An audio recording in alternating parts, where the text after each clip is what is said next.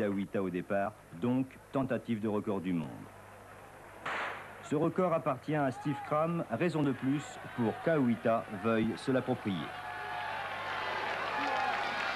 Les deux lièvres sont bien là, Aouita est dans leur foulée. Le premier s'arrête après 1000 mètres de course. On est à ce moment-là dans les temps prévus.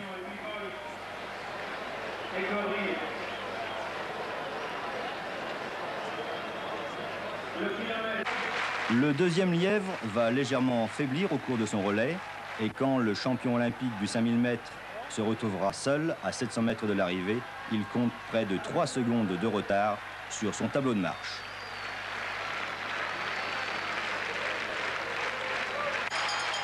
Suivi de Cinémarie, il attaque le dernier tour passant à la cloche en 3,56,5. On pense alors que le record ne sera pas battu, mais c'était sans compter sur le redoutable finish du Marocain qui va faire un dernier tour éblouissant.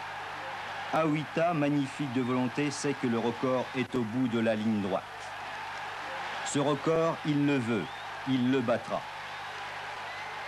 Ça y est, fait. Aouita va voir le chronomètre électronique. 4, 50, 81. Le record du monde de Kram est battu de 58 centièmes.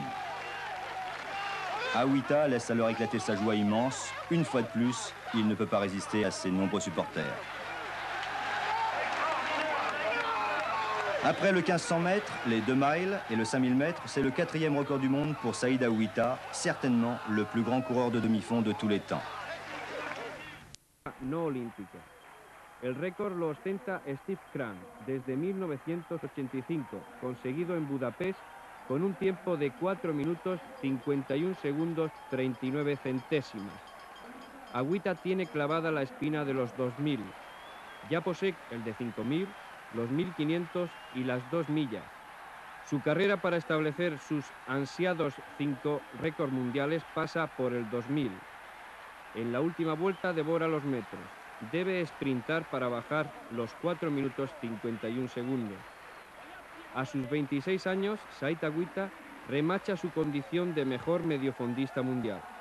Ha recorrido los últimos 400 metros en menos de 55 segundos. Agüita ha establecido un nuevo récord mundial con 4 minutos 50 segundos 81 centésimas. El primer atleta que baja de 4.51 en los 2.000 metros. Saitagüita consigue así su cuarto récord mundial en la media distancia. Solo le queda uno para cumplir su objetivo de cinco cetros sobre el crono.